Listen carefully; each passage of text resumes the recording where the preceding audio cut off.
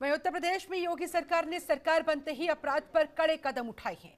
सरकार ने सीधे तौर पर अपराधियों को प्रदेश छोड़ने या फिर जेल में रहने की हिदायत दी।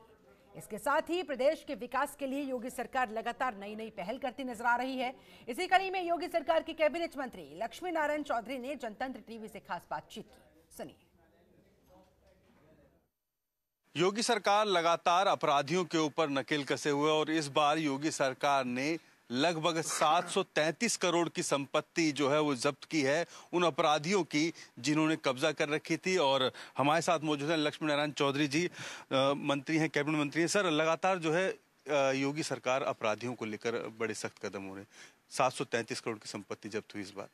देखिए, ये जैसे ही हमारी सरकार बनी थी, आदरणीय मुख्यमंत्री जी ने उसी समय घोषणा कर दी थी। कि चाहे वो आर्थिक अपराधी हों या क्रिमिनल हों, उनके लिए जगह या तो अंदर होगी या ऊपर होगी।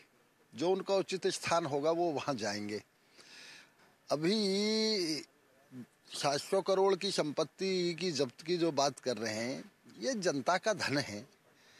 और जनता के धन या तो सरकार में रहना चाहिए या जनता में रहना चाहिए, जनता के विकास के लिए लगना चाहिए।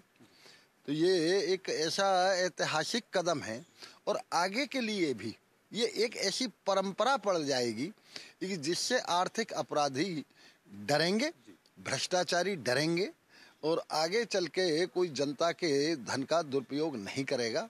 और भ्रष्टाचार नहीं करेगा। आ, सर लगातार जो है योगी सरकार ने ये भी कहा है कि ओडीओपी और तमाम योजनाओं से कहीं ना कहीं आम जनमानस को और बेहतर जीवन देने की।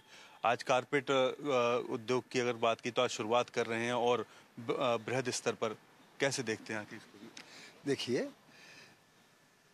आदरणीय प्रधानमंत्री जी ने एक बार नहीं अनेक बार कहा है एक देश में इस समय सर्वोत्तम सरकार उत्तर प्रदेश की कार्य कर रही है। चाहे ओडीओपी हो, योगी जी के नेतृत्व में जो भी काम हमारी सरकार के द्वारा किए जा रहे हैं, वो सब के सब ऐतिहासिक हैं। चाहे वो देव दीपावली हो, चाहे ये पर्यटन के काम हो, चाहे ईश्वर की कृपा हुई राम मंदिर बनने का कार्य हो, चाहे ओडीओपी के द्वारा जो आदरणीय प्रधानमंत्री जी ने नारा दिया लोकल फॉर वोकल उसका प्रचार प्रसार हो चाहे आवास हो कोई भी कार्य हो जो भी कार्य हैं वो चार साल में आदरणीय मुख्यमंत्री जी के नेतृत्व में पूरे देश में सभी कार्य प्राथमिकता से हुए हैं। एक अंतिम सवाल है कांग्रेस आज फिर बांदा में गाँव बच, गाय बचाओ यात्रा जो है वो निकाल रही है। कैसे देखते हैं आखिर इसको? सन सड़सठ में तत्कालीन कांग्रेस की जो प्राइम मिनिस्टर थी, उन्होंने गौरक्षकों पे दिल्ली में गोली चलवाई, जिसमें कई सौ लोग मरे थे।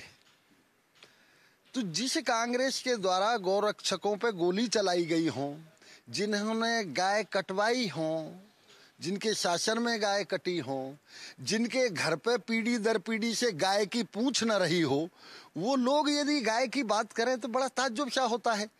हम तो ये ईश्वर से प्रार्थना कर रहे हैं कि उनको ईश्वर ऐसी अकल दे, एक वो भी एक एक गाय पालना शुरू कर दें कम से कम अपने घर में। आदरणीय योगी जी ने इतिहास कायम किया है। वो स्वयं गोरक्ष पीठाधीश्वर हैं। एक पूरे देश में कभी आज़ादी के बाद किसी सरकार ने ऐसा नहीं किया। आज सैकड़ों गौशालाएँ हमने बनवाई हैं, जिनमें आज साढ़े पाँच लाख गाय रह रही हैं। अस्सी हज़ार गाय हम किसानों को दे चुके हैं वहाँ से।